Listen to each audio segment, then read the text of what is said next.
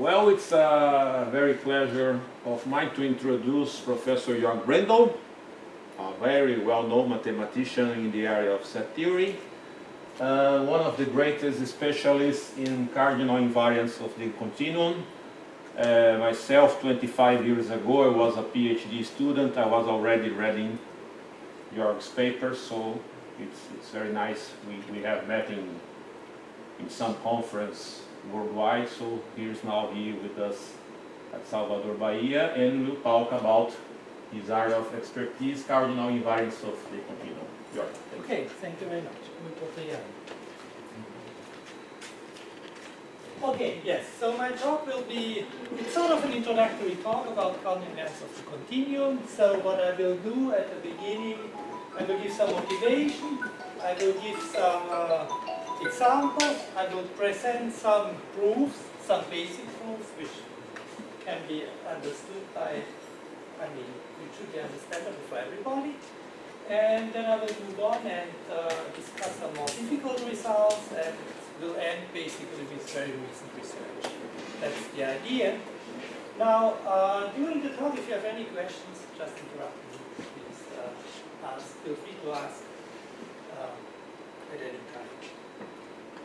Okay, so, uh, so this headline, no, but the headline is not important. So, since you can't see very well, So, uh, this first slide is just a very general slide about Cardinal invariants.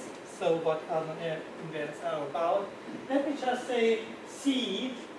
Uh, the letter C stands for the size of the real numbers, of the set of real numbers, of the set R, which of course has the same size as the Cantor space to the omega or the Baire space opposite to the omega. So that's the size of the continuum.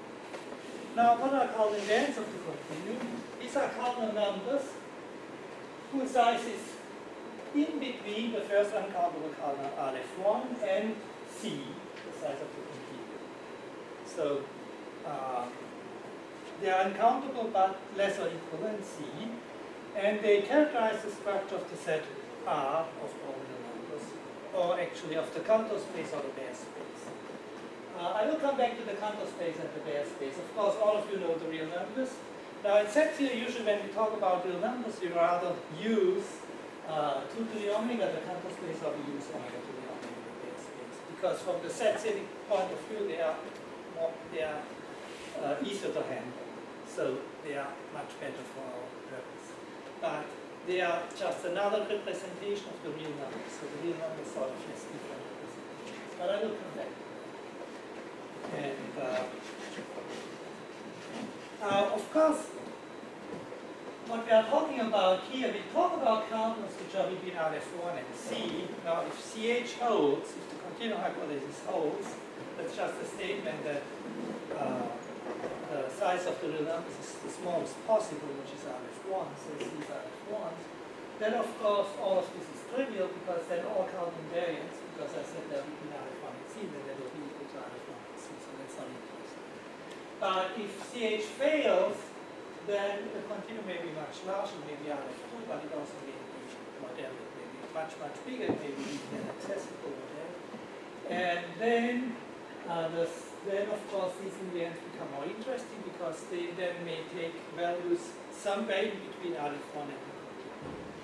And the same invariant may take different values in different models of ZFC. So one invariant, a given invariant, in some models it can be Aleph1, while the continuum is large. In other models, while still the continuum is large, it can be equal to the continuum. So there are many different models of theory here.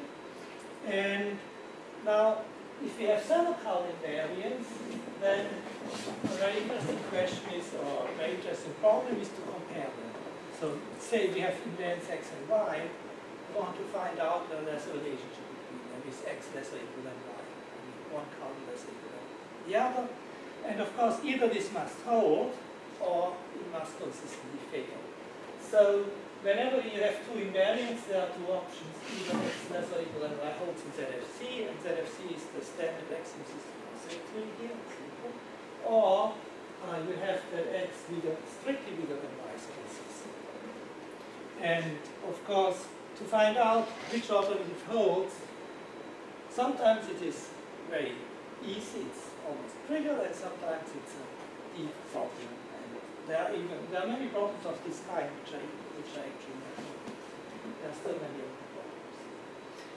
And then, of course, when we are looking for the second alternative, namely the consistency result, then we use forcing. So that's the uh, method for showing consistency results of this type.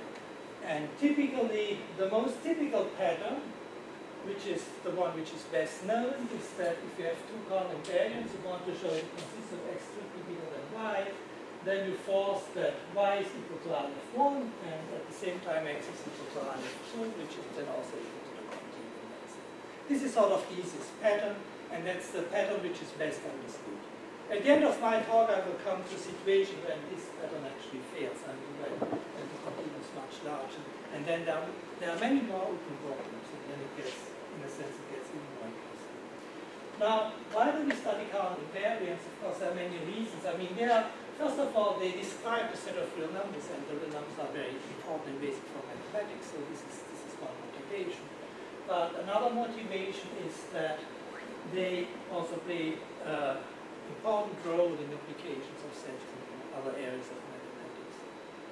I mean, in particular in general topology, but also in group theory, real analysis, in functional analysis. I mean, there are many, many areas they have been used and are still being. I will not talk about application. I will give sort of an introductory talk about invariants and also about the sort of about the theory, about the basics, and about the uh, problems we we are thinking about nowadays, but uh, not about applications. Okay, so the first two examples are B and D. They are called the unbounding and the dominating number. Let's first introduce a partial order on, on function in the Baire space. So we have, we at omega to the omega. So this is the set of all functions from omega to omega, from the natural numbers to the natural numbers. And we say that a function f is eventually dominated by g, and that's abbreviated by this symbol here, let's say equals star. It means that, well, in a sense what the word says, that the set of exception points, the set of points where uh, g is not above f is finite. So there's only a finite number of points and such that f is bigger, strictly bigger than gn, and otherwise f is, is smaller. And so the picture is like this. We have, we have, omega and omega, and we have a function f, and then the function t eventually dominates f. It means for a while g may be a, below f, but eventually from some point onwards, g will always be above. So that's the picture here. And so we look at this ordering, and we look at two cardinals related to this ordering. One is the unbounding number, the other is the dominating number. So the unbounding number is the smaller size of an unbounded family in the sense of this ordering. So it's the smaller size of a set of functions in omega to the omega, such that uh, there is no function which bounds all of these functions. So for every function g, there is a function in, in the family such that this function is not bound, is not eventually bound, not eventually dominating. And the other one is the dominating number. That's the smaller size of a final set this ordering, actually, it's a dominating set. It means the smaller size of a family such that for every g in omega to the omega, there's an f in the family such that G is lesser than F. Is, or let's say equal started in the eventual dominance. Okay, so now let's see. What can we say about these cardinals? Very, very basic and very easy result is, I mean, they are cardinal invariants in our sense, so they are between Aleph1 and C. They describe the structure of the continuum, and, uh, and well, we have this. And that's uh, sort of so let me quickly give the proof. First we have Aleph1 is less or equal than B, so this just says that B is uncountable, that's a diagonal argument. So how do you prove this? Suppose we have countably many functions fn and omega, so this is a countable family of functions from omega to omega, and this can be eventually dominated, this is just sort of doing the diagonal, and we define f of k, this is the max of f n of k where n is less than equal k. So for each k, there are only finitely many functions for which we know so that's fine. So this definition makes sense, and it's clear that, of course, every fn, I mean, as soon as k gets bigger than n, the function f will be So this function will be all of these functions in the eventual. Okay, so this shows that b must be uncountable. Now the next thing is b less or equal than d, that's obvious. I mean, I leave this to you to I mean, think about. It. If you have a dominating family, then it's Because every, every witness for d is a witness for And finally, the last one is also trivial because, uh, of course, the set, the whole set, I mean, omega to the omega vectors are C. And here, here we look for a subframe, look for a smaller size of the set from omega to omega, which has a certain property. So, of course, be less uh, actually, let me mention here, I will come back to this a little bit later, uh, that of course here we have all these lesser inputs and that's all we can say. Anything else here is consistent. So it's consistent that B is strictly bigger than 1 and so on, also that D is strictly less than C.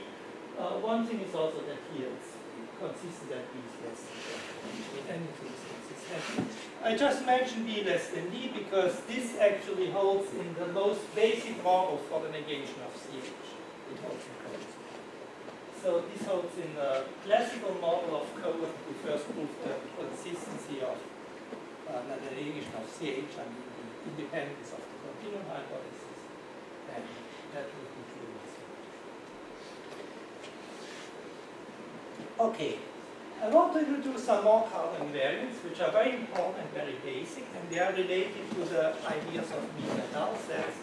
And to do so, let me just say a couple of words about topology and measure here. Of course, you all know the topology on the real numbers and also measure on the real numbers. But as I said before, uh, we prefer to work with the Cantor space and the Baire space. They are just combinatorially simpler. I mean, I mean, one reason they are simple is, for example, when you look at closed sets, then you have uh, Cantor space or Baire space, closed sets are just given by trees. So they are very simple. And there are a couple of other reasons. But, uh, okay, so the Cantor space is 2 to the omega, omega to the omega is the Baire space. And depending on the context, people prefer to work with the Baire space or, or with the Cantor space. I mean, it really depends on the context which one is. Uh, simpler to work with. And now, of course, these are representations of the real numbers, but they are not exactly the same as the real numbers, because you, you all know that topologically they are not the same thing. I mean, the Cantor space, for example, is a compact space. The reals are not compact, but they are still sigma compact, and that one is even not sigma compact. So just if, even if you look at compactness, they are very different, but they are the same modulo countable set. And countable sets are small in the sense of sets, in the sense we are talking about in, in the sense of set here, and so they don't matter. And for, for this reason, uh, many things which are defined, I mean, many, if, you, if you define Calvin bands, it doesn't really matter which space, that which space. I mean, to make an example, the Baire space is topologically homeomorphic to the rational numbers. So it's, it's almost the same as the real numbers, you just have to throw away the rational numbers, and that's a and in that sense, I am saying that even though these spaces are not homeomorphic, they are still set circularly almost the same. Okay, so what is the topology on 2 to the omega and omega to the omega? It's a very simple thing. You give 2 or omega the discrete topology, and then we have a product of omega many copies of 2 or omega, and then you, we, we use the product. So that's a basic, the typical topology. And of course, it is a very nice space. It's uh, an open space. It's a complete matrix uh, separable space. The base of the topology, because we work with the product topology, just means that open sets are, given by finitely many coordinates. So you just have to make it open in finitely many coordinates. And the basic open sets are just those. You have a finite sequence, sigma, to the less than omega, it can be omega to less than omega. And then we look at all the functions which extend the sequence. So it's a little bit of picture is like this. We have sigma here, and then we look at all functions which are extended. And this is a basic local this topology. It's even Cloten's uh, closed And now recall, of course, this is a general definition. In any topological space, you can define over dense sets. So that's not just for omega. A set is nowhere dense if the interior of its closure is empty. So it's not dense in any parts. So then you take a, the closure, then it still has, non, has empty interior. And it's mean if it's a countable union of nowhere dense sets. And of course we know that these sets are small. That's the Baire category theorem, which in any completely metrized synthesis of space, like complex space also. Uh, that uh, the whole space or even any non-trivial, I mean any non-empty open set cannot have this property. So these are small sets. And M is the sigma linear sets in spaces. You can also look at measure on either of these spaces, you know, measure Lebesgue measure on the real numbers. Let me just introduce Lebesgue measure 2 to the omega. It can also be done on uh, 2 to the omega is equipped with a product measure, so what does it mean? We have two, so this is a two-element set consisting of 0 and 1. Each one gets measure 1 half, 0 gets measure 1 half uh, one gets measured one half, and then you take the product measure. So it's a very simple thing. And uh, then, of course, this means that if you look at a basic clopen set, one, one set of this form, then the measure of this will be 2 minus n, where, of course, the length of the sequence, sigma is exactly n. So sigma is another 2 to the n. Then the measure will be 1 over 2 to the n. And n is the sigma ideal of null subsets in the sense of this notion. set is the ideal of sets which have measures. Now once we have an ideal, we can define carbon pairs related to this ideal. So let's assume we have an ideal over set X. I is an ideal over set X, so I is a subset of P of X, and of course it's an ideal, so it's downwards closed, it's closed under subsets, and it's also closed under finite unions and see that, of course we always assume it contains something, it contains the empty set and it does not contain space. That's what we always assume here. And uh, then we have the additivity of the ideal. It's the smallest family of uh, uh, yeah, it's a smaller size of a subfamily of the ideal whose unit is not ideal. So uh, we have a collection of sets in the idea, but if we take the union set in the idea. And of course, sigma, it just means basically how close, I mean, it means how close the ideal is. So if an ideal is a sigma ideal, that exactly means that the additivity is bigger uh, then we have the covering number This is the smallest size of a family, subfamily of the ideal whose unit is the whole space, the whole set X. Then we have the uniformity, non-I. It's the smallest size of a subset of the space of the set X, which is not in the ideal. And finally, we have the cofinality. It's the smallest size of the base of the ideal. So what does it mean to be a base? It means that it's a subfamily of the ideal such that every set in the ideal is contained in one set from the subfamily. So it's minimal size of F, a subfamily of the ideal, such that given any set A in the ideal, there's a B in F So that's the cofinality. We only look at the cases I is M or N. But even in general, if the ideal is non-trivial, we can already say something about the relation cardinals.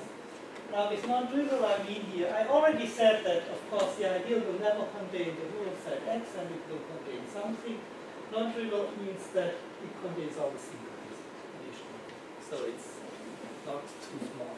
All the, all the singletons are there. And then of course there's all the finite sets, so it will contain all finite. Uh, then we have these relations. Additivity is the smallest, cofinality is the biggest, and these two are in between. So educating is to be non-degree, is, is still know non is to know cough, and also educating is to know covering and is to know coughing I mean, for example, to see the second one, if you have a, a weakness for covering, so if you have a covering uh, family, then of course it's also weakness for identity simply because the whole space, the whole set X is not in the And then also this inequality, if you have a profimal family, it must be covering uh, simply for the reason that we assume the ID is non-trivial, so all the sequences have to be covered for that reason. Uh, uh, families.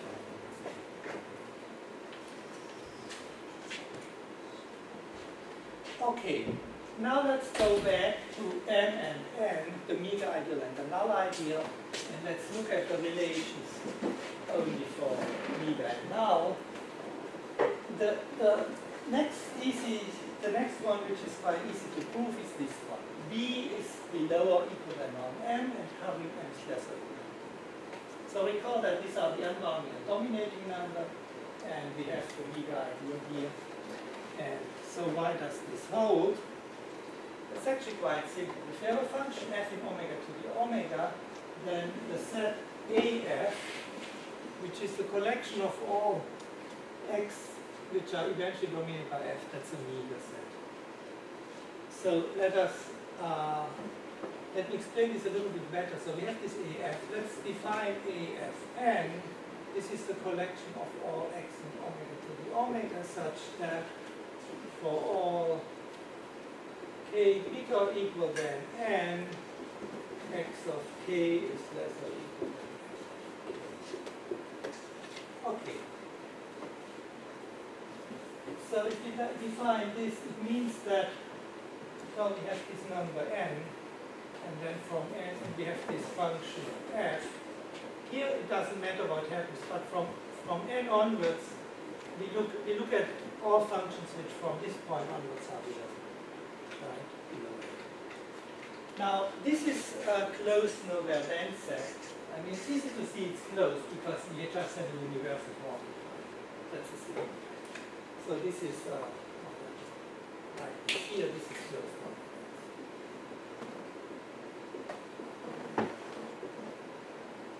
So why is it nowhere dense? Well, it's already closed, so you only have to show that it has empty interior. And uh, that's clear because if you take any open set, now recall what are the basic open sets here? They are just given by finite sequences. If you have any open set sigma, anything like sigma, and this defines the open set, then we can extend it, and of course we can extend it in such a way that we are at least in one point above f, and so we extend sigma to tau, and then you see, of course, this open set which is given by this tau, this has trivial intersection. Here. Because here we are, we are strictly above beyond n, and this violates this condition. So the two sets are. So any open set, any open set can be, has a smaller open set which has trivial intersections, and that shows exactly that the is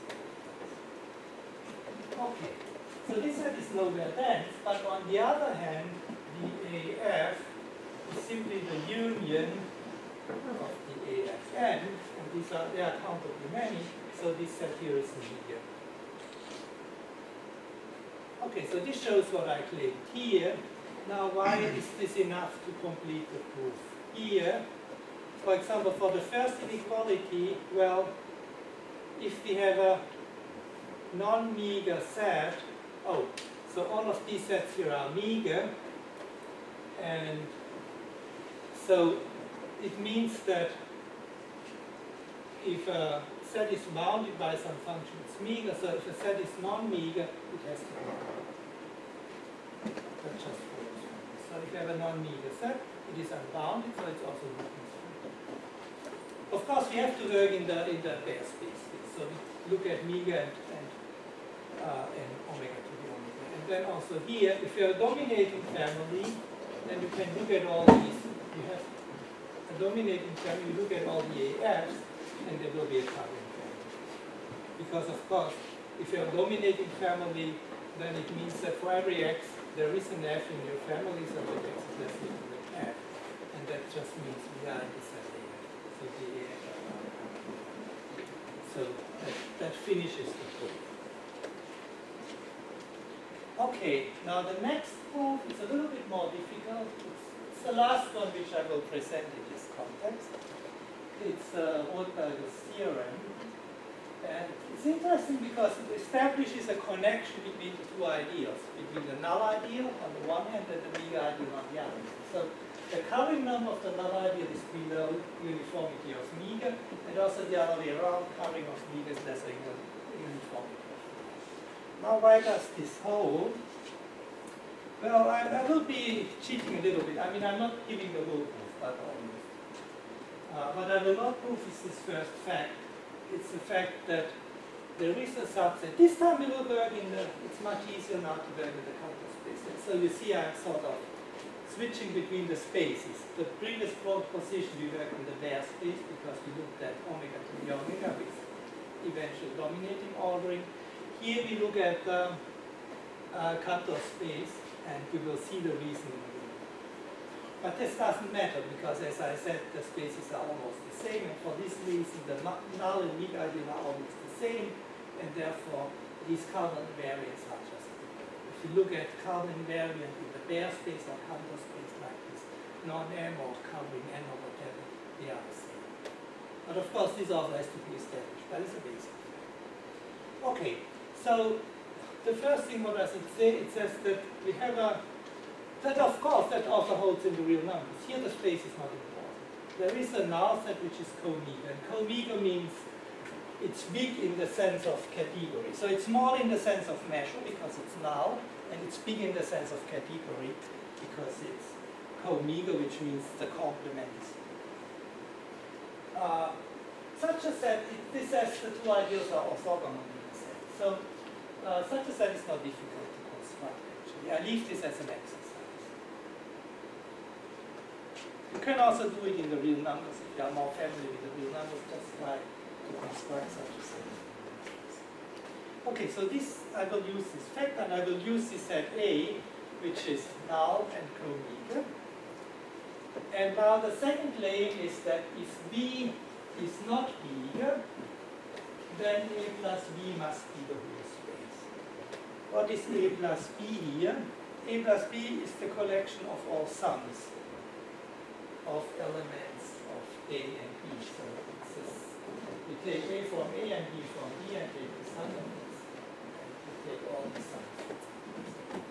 Now notice of course here, and that's where we actually use that we are 2 to the omega, not saying omega omega, that here we have a very nice topological group because uh, 2, we have addition modulo 2 in 2 and then we have just have 2 to the omega. So we have the addition into the which is also addition So that's the addition we are talking about. Now let me prove this. Okay, so what is the task? We take an arbitrary element from the omega and we have to show that it is in A plus B. So we have to find some element in A, some element of B such that X is the sum of these two elements. Um, now by assumption what we know is that intersection of A and B plus X is non-empty. So why does this hold? Uh, B is a non-meager set.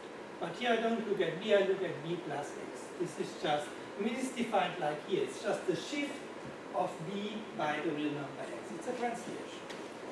And of course, these ideas, the null ideal or the meager ideal, they are invariant so if you translate a null set by a real number, it's still null. If you translate a non-meager set by a real number, it's still null. Okay, so this set is also non-meager, b plus x, and on the other hand, A is co-meager, and therefore the intersection must be non-empty, because uh, the complement of a co-meager set is meager, so this, this cannot be contained in the complement.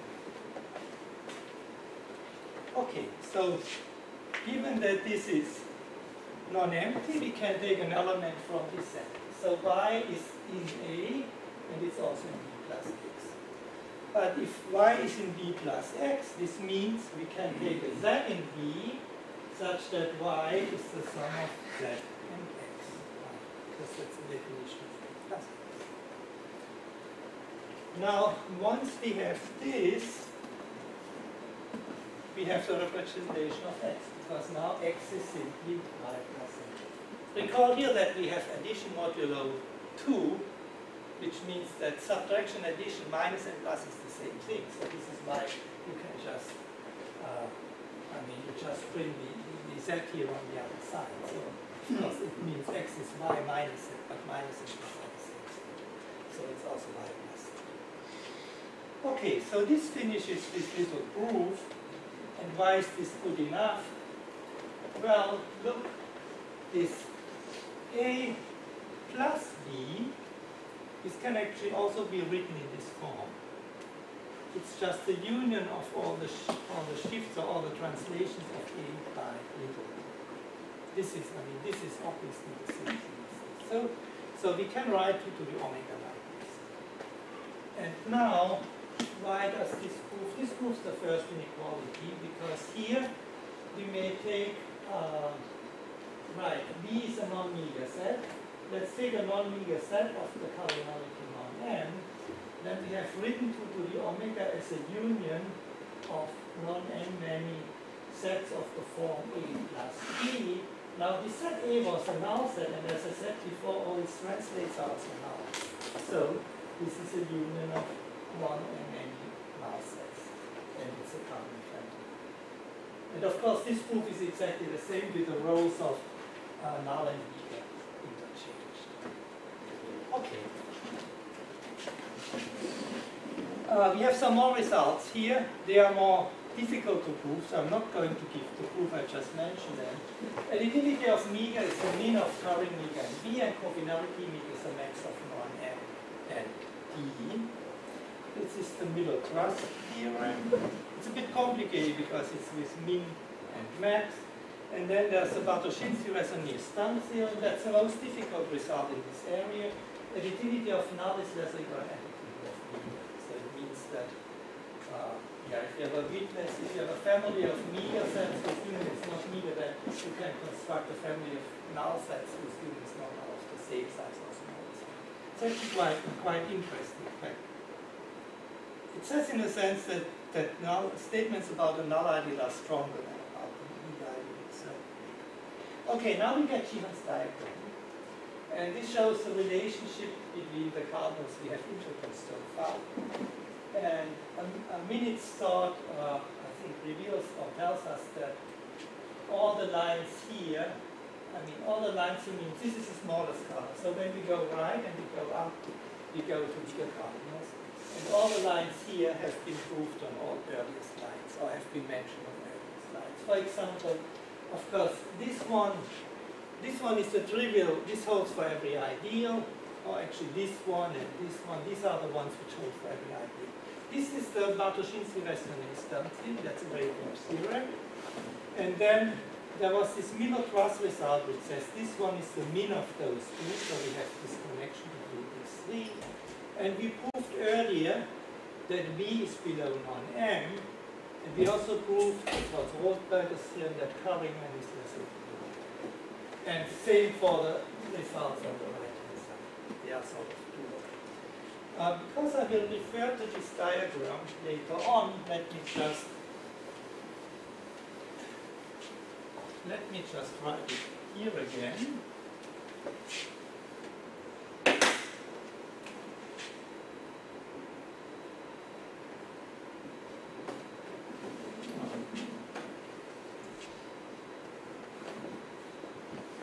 Yeah, I should probably start on here.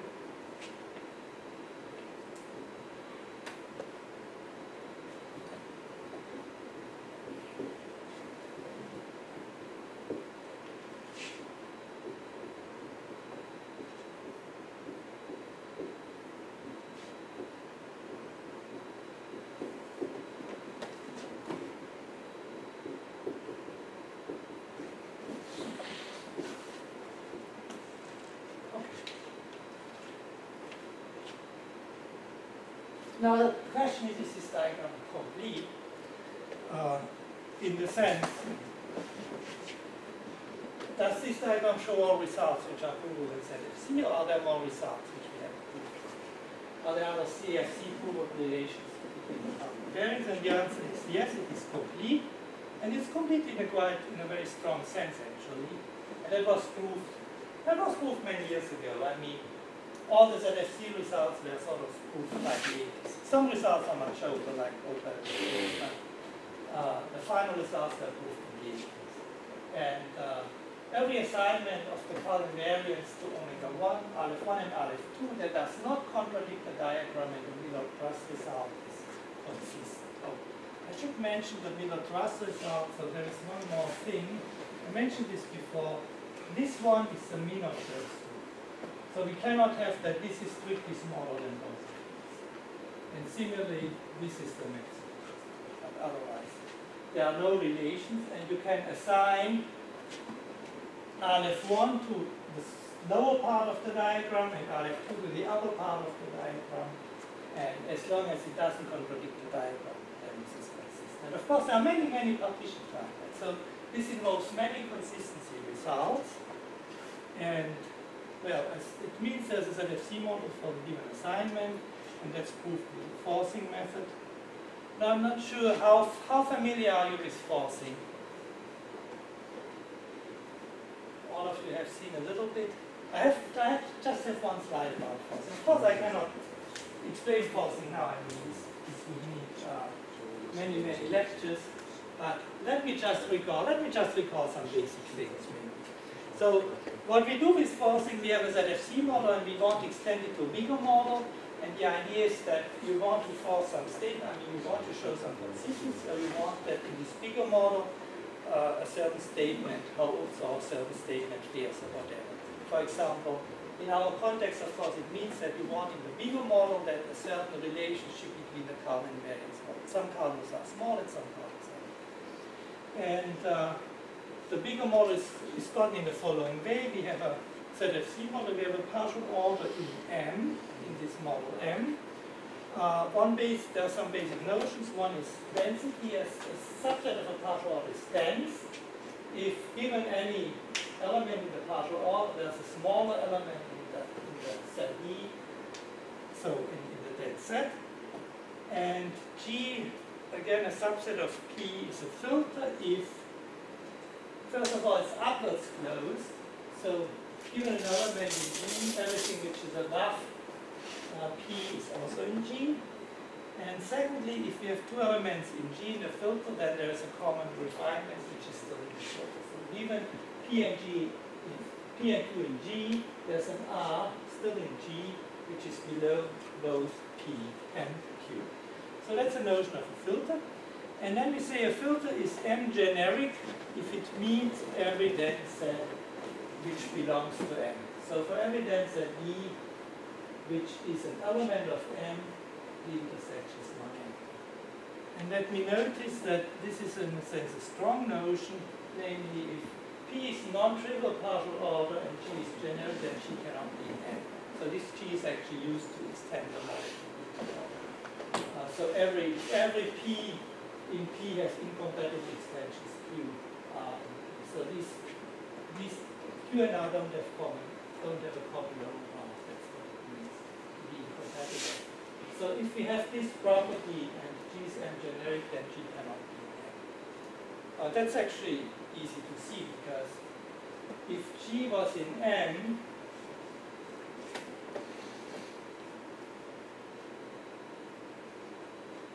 oh, uh, yeah, it's easy to, the point is that if you have G, if you look at the complement of G, then this is a dense. And why is it dense? Because if you are, if you look at G, and you have any condition P in G, then, or you have any condition at all, it has two incompatible extensions, not both of them can be G, so one is in the complement. So the complement of G is, is uh, then set by this condition.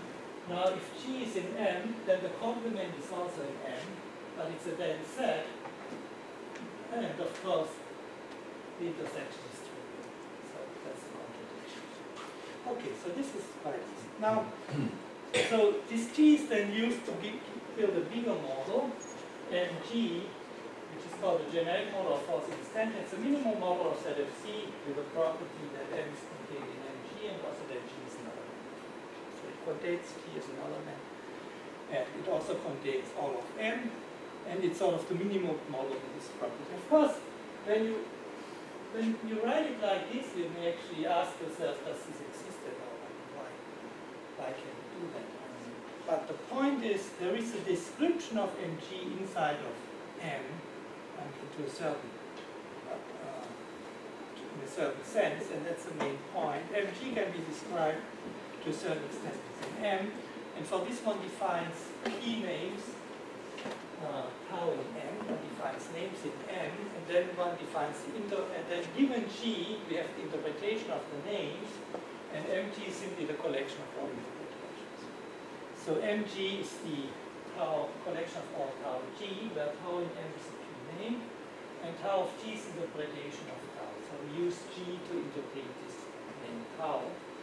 And well, of course, one has to, I mean, there are many definitions and things to check involved here, but the point is that once you have this description, this sort of becomes easier to understand because G, of course, also has its own name. So this model will have the property, it will contain G and it will contain M because all the original elements of, the, of M also have their names. And so it will clearly satisfy these two properties, but also it will also clearly be a minimum model with these properties, simply for the reason that anything uh, which is of the form tau g can be constructed using energy.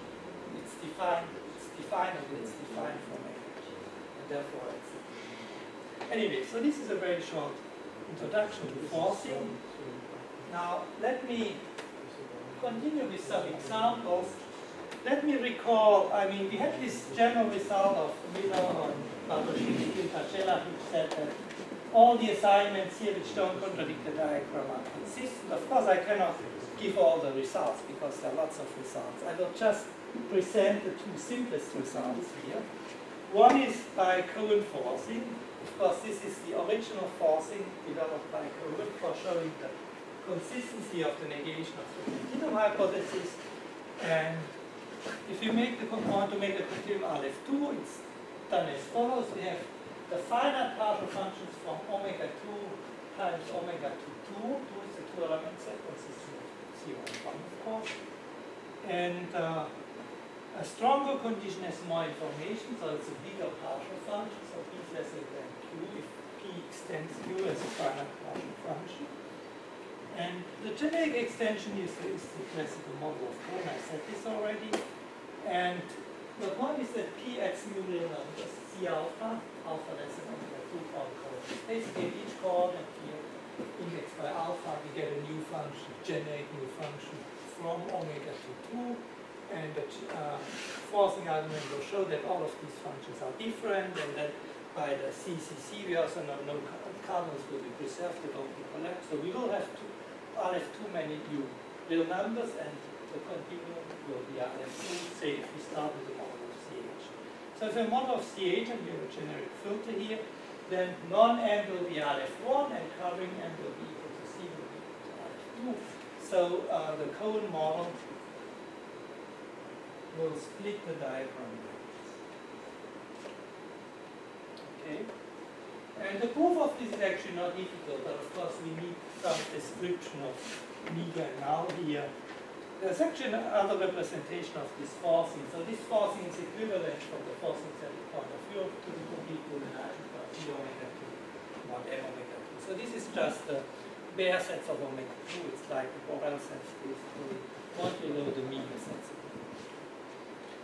And uh, well, let me not go into too many details here, but uh, I mean, the Cohen real, the, the, the point really is that the Cohen avoids all the the That's the, that's the main point here.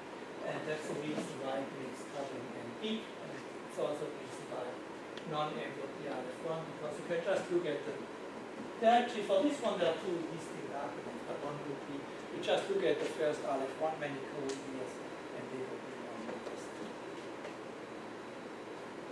Okay, then we have random forcing. Oh, here I define what I just mentioned. The Borel sets I'm not really using that, let me just recall this.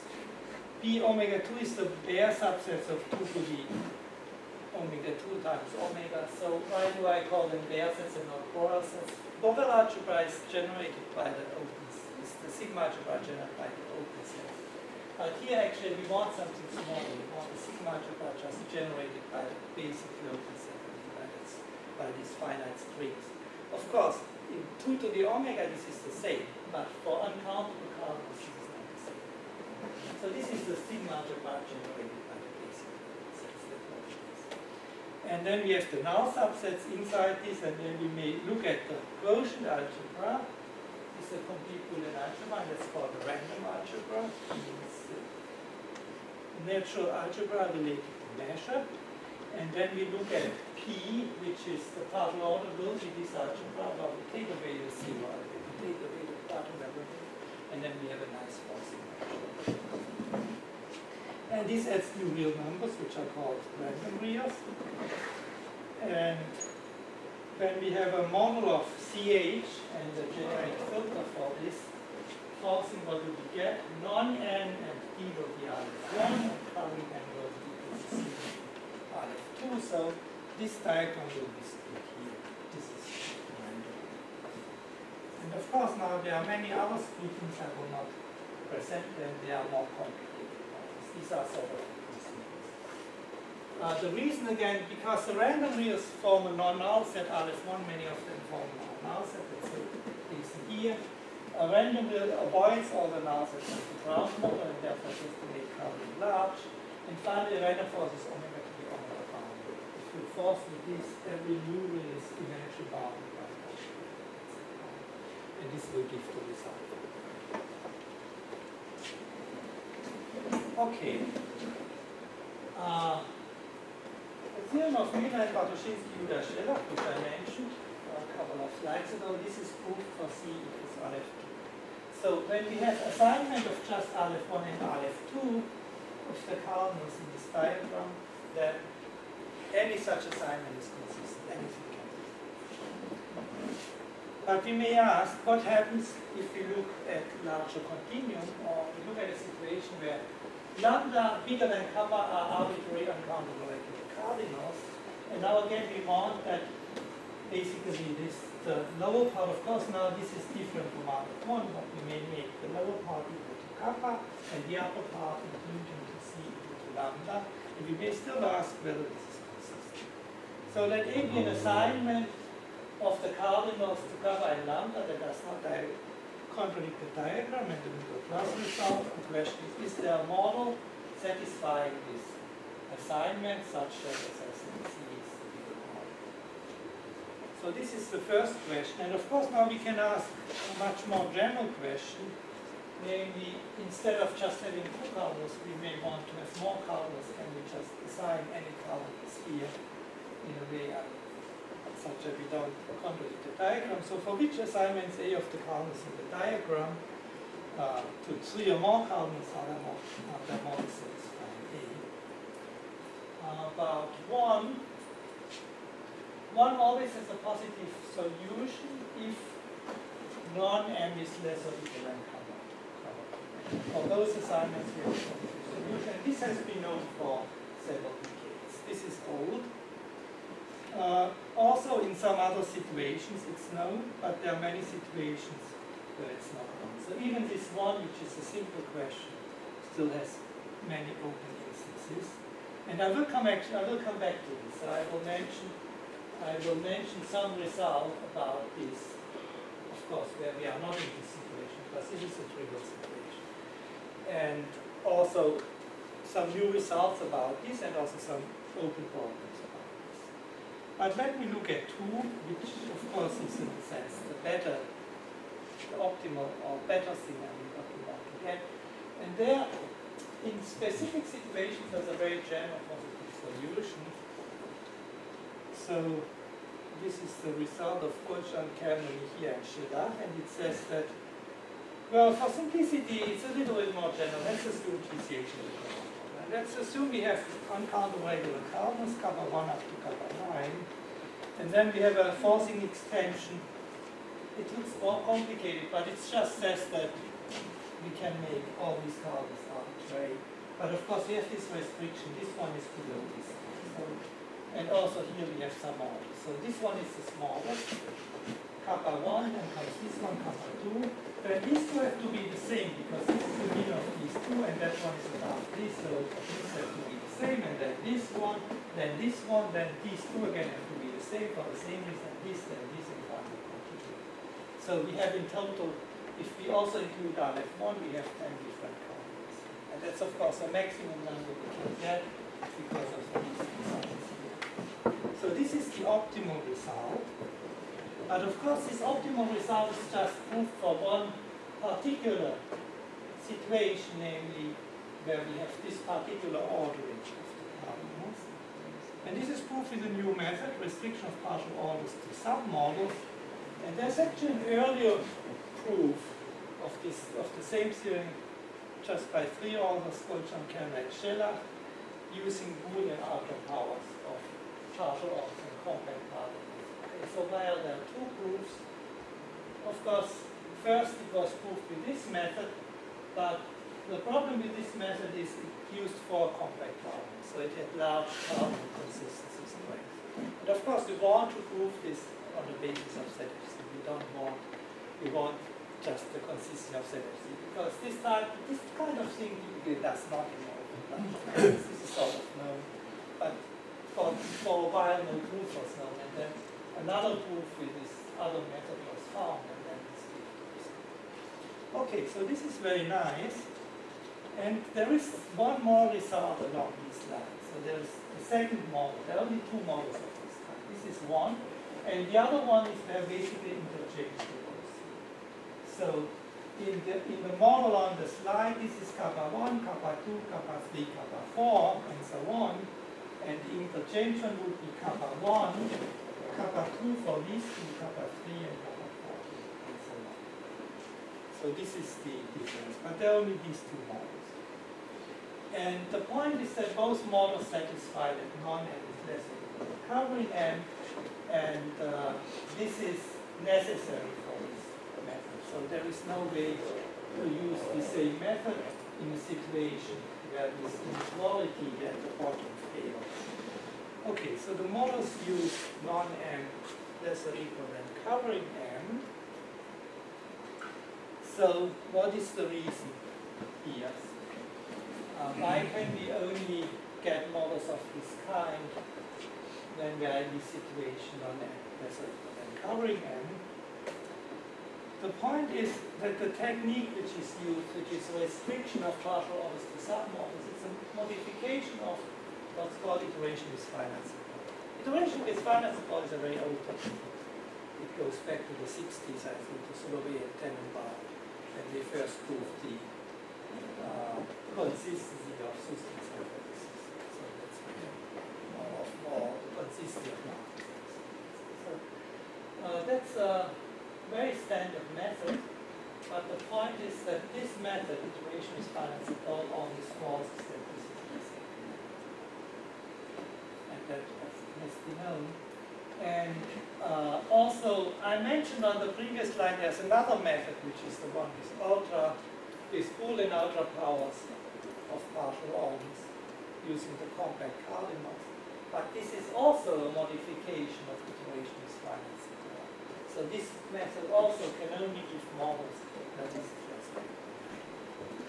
So the point is that iteration of with iteration with finite support introduces naturally many Cohen reals and therefore it forces that response.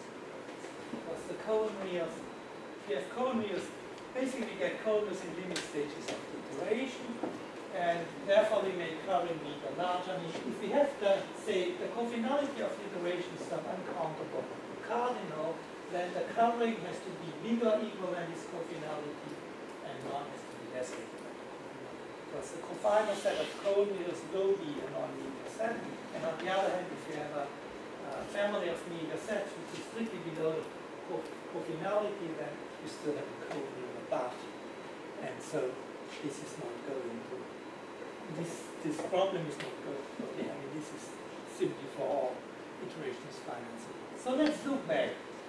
When we look at models, I mean, the theorem of Miller and Shelah, where they split the diagram in another way. I mean, there are many, there are many, many splittings, but this one is actually smaller by that point. You can figure this out. Now, what, what is used there? In most cases, iterations with counters are used. And then there are some models which use the random algebra. For example, this one. This is not countable solvable, this is random algebra. And also, it like this or doing it like this can be done with random algebra. Now, the first technique, uh, which is of course the one which is mostly used and which is the most powerful calculus of Claude, this only works when the continuum is R. We cannot make the continuum larger than Aleph 2 this calculus support iteration because when we continue doing it after most Aleph 1 many steps, we will collapse Aleph 2 and sort of dead. So that's a big problem. Uh, now for the second, the second one can, in a sense, you can be more optimistic to use this for doing something, and that's actually true.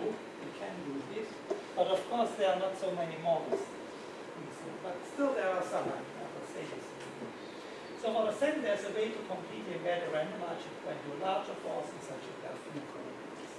Of course, if we just do the random model and there are no coordinates at all, but this will also mean that here we stay in a.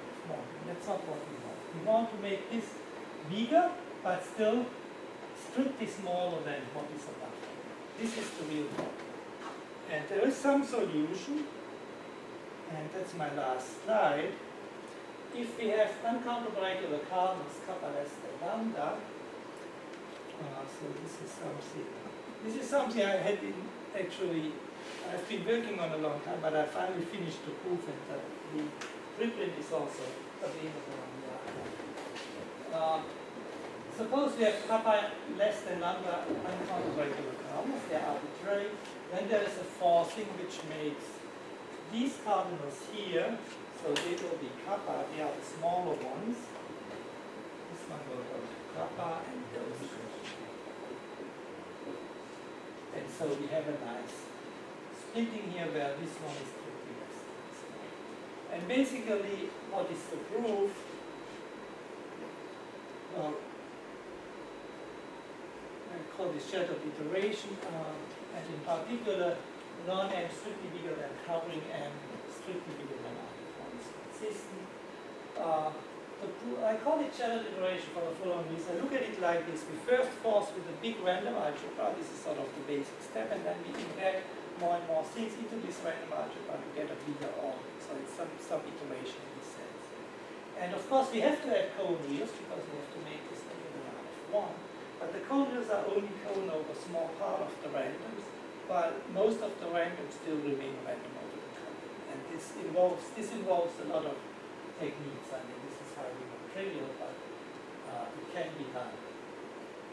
Uh, and I call this shattered iteration because basically when you just start with the random, the many randoms, it's a very homogeneous, a very nice force, but then it's large to kill or shatter this homogeneity by introducing. So